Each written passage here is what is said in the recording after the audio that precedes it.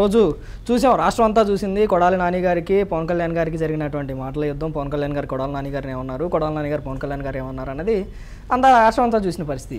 మరి ఆ రోజు పోరాటం చేసినటువంటి జనసేన పార్టీ కానీ పవన్ కళ్యాణ్ కానీ ఎందుకని పూర్తి స్థాయిలో వారికి న్యాయం జరిగే వరకు అక్కడ నిలబడలేకపోయారు? లే, లే, తప్పండి మీరు. మేము పూర్తి స్థాయిలోనే ఉన్నాము అప్పుడు కూడా. అప్పుడు కూడా అప్పుడు కూడా మేము వచ్చిన తర్వాత ఈ కొడాలని తీసాడు వాడికి వాడికి అంతమించి ఏం తెలుసాడు వాడు సెకండ్ వాడు తెలియదు వాడు వాడు అంతకుమించి ఏం మాట్లాడతాడు అదే మాట్లాడేది ఇతను. మేము ఆ రోజున వచ్చిన తర్వాత రైతులకు అందరికీ మాకు ఉన్నంతలో మేము వాళ్ళకి మంచి చేయాలని చూసాము మా పోరాటం ద్వారా కొంతవరకు గవర్నమెంట్ వచ్చి వాళ్ళకి చేస్తానన్నది. మేము చెప్తుంది అదే ఈ రాష్ట్రంలో అసలు ఖజానాలో డబ్బులు లేవు అనే ఒక పరిస్థితి తీసుకొచ్చేసారు ఇక్కడ. దేనికి చూసినా మనకి వీళ్ళు చెప్పేదేంటి? డబ్బులు లేవు అంటారు. కానీ ఆయన మాత్రం మేము నవరత్నాలకు మాత్రం సంక్షేమానికి పెద్ద వేసాము. నవరత్నాలు అన్నీ కూడా అమలు చేస్తున్నామని చెప్తారు. ఆడ కూర్చుని నేను బటన్ నొప్పుతున్నాను అంటాడు. ఇంట్లో కూర్చుని బయట రాకుండా. బటన్ నొక్కి మనకి ఏం చెప్తారు? ఒక పేపర్ యాడ్ వేస్తారు నాలుగు వందల కోట్లు ఒక ఐదు వందల కోట్లు ఈరోజు రిలీజ్ అయిపోతున్నాయి. నేరుగా ఖాతాల్లోకి అని. మేము సూటిగా ప్రశ్నిస్తున్నాం గవర్నమెంట్ని. ఎవరైనా సరే మీ నుంచి రండి. ఒక డిబేట్లో కూర్చుందాం. మీ తెలివి గల వాళ్ళని తెచ్చుకోండి. మంచి మంచి ఎక్స్పర్ట్స్ని పెట్టుకున్నారు కదా సలహాదారులుగా తెచ్చుకోండి. లేదు మీ సాక్షి ఛానల్లోనే కూర్చుందాం. ఆ సాక్షి ఛానల్ పొద్దున్న ఒక పెద్ద మనిషి వస్తాడు. ఒక డిబేట్ పెడతాడు.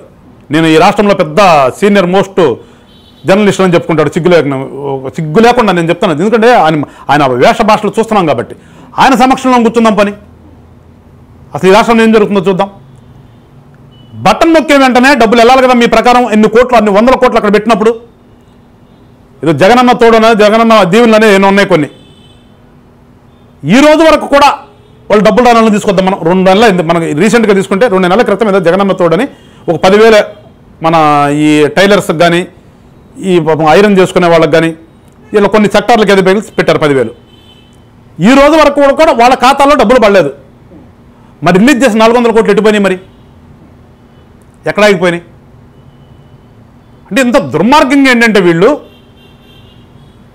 పథకాల్లో నుంచి కూడా డబ్బులు జనంకి వెళ్ళకుండా రిటర్న్ ఎక్కడికి వెళ్తున్నాయో తెలుసుకోలేని పరిస్థితిలో ఇవాళ జనాన్ని చేసి ఆ డబ్బులన్నీ కూడా వెనక్కి వెళ్తున్నాయని చెప్పింది మా ఆరోపణ. ఇవాళ సంక్షేమం అని చెప్పేసి ఒక బూటకంతో ఒక నాటకంతో మీరు చేస్తున్నదే కానీ నిజంగా సంక్షేమం మీ రాష్ట్రంలో ఏం జరిగింది చెప్పమనండి? మద్యపాన నిషేధం అని వచ్చిన వాడివి రేట్లు పెంచితే తాగటం మానేస్తారని ఒక పిచ్చి ఆలోచనతో ఎవడో ఒక సలహా ఇస్తే నువ్వు పెట్టావు. దానివల్ల జనం పరిస్థితి ఏమైంది వాళ్ళ అంతకుముందు ఒక యాభై రూపాయలతో సర్దుకునేవాడు ఇవాళ రెండు వందల యాభై రూపాయలు సర్దుకోవాల్సి వస్తుంది వాళ్ళ యాభై రూపాయలు ఖర్చు చేసేవాడు రెండు వందల యాభై రూపాయలు ఖర్చు చేయాల్సి వస్తుంది వాళ్ళ అంటే నువ్వు మనిషిని ఏం చేసావు నువ్వు ఇవాళ? ఆంధ్ర రాష్ట్రంలో ఒక సగటు మనిషిని ఏం చేసావు? నువ్వు వచ్చిన తర్వాత వాడికి రెండు వందల రూపాయలు ఖర్చు ఎక్కువ పెట్టావు. ఎక్కడి నుంచి వచ్చింది సంక్షేమం ఇంకా? నేను అక్కలమ్మలకి చెల్లెమ్మలకి ఏదో డైరెక్ట్గా అకౌంట్లు వేస్తాను అంటున్నావు. ఎన్ని అకౌంట్లో నీ డబ్బులు పడినాయి? ఎటుపోతుంది ఏం సంక్షేమం కనిపించింది రాష్ట్రంలో? అభివృద్ధి శూన్యం. ప్రతి ఒక్కళ్ళు తెలిసిందే. సంక్షేమం అంటున్నారు. ఏంటి సంక్షేమం చెప్పమనండి వచ్చి? ఆ సంక్షేమం అందే వాళ్ళ కొంతమందిని కూర్చోబెడదాం. మీకు ఇష్టమైన మీ పార్టీ సంబంధించిన చూసుకొచ్చి కూర్చోబెట్టండి. ఒక చర్చ వేదిక పెడదాం. ఏంటో సంక్షేమం అనేది తెలుద్దాం. జగన్మోహన్ రెడ్డి తెచ్చుకో జగన్మోహన్ రెడ్డి గారు తెచ్చినటువంటి సంక్షేమ పథకాలు అన్నీ కూడా ప్రజల వరకు అందట్లేదు అంటారు ఏది కూడా మంచిది లేదు. అందుకని నేను చెప్తున్నాను. వాళ్ళ గవర్నమెంట్కే ఒక ఛాలెంజ్ ఇస్తున్నాం మేము జనసేన పార్టీ నుంచి. మీ పార్టీకి సంబంధించిన వాళ్ళనే మీరు సంక్షేమం ఖాతాలో మీ ఖాతాలో సంక్షేమం కొన్ని సెలెక్ట్ చేసుకున్నారు కదా వీళ్ళు. ఇన్ని ఫ్యామిలీస్కి ఫ్యామిలీస్ కానీ వాళ్ళనే తీసుకురండి. ఏమి సంక్షేమం జరిగింది? మీరు కూర్చొని మేము కూర్చున్నాం. ఆ లబ్ధిదారులను మీరు చెప్తున్నారు కదా. ఆ లబ్ధిదారుల మొక్కల్లో నుంచి ఎంత వెలుగు వస్తుందో మీరు చెప్తున్నారు కదా. లబ్ధిదారుల నుంచి వెలుగును చూసి ఆనందిస్తున్నామని ఎంత వెలుగుందో తేలుద్దాం. ఒక నాటకం జరుగుతుంది రాష్ట్రంలో. ఒక బూటక పాలన జరుగుతుంది రాష్ట్రంలో.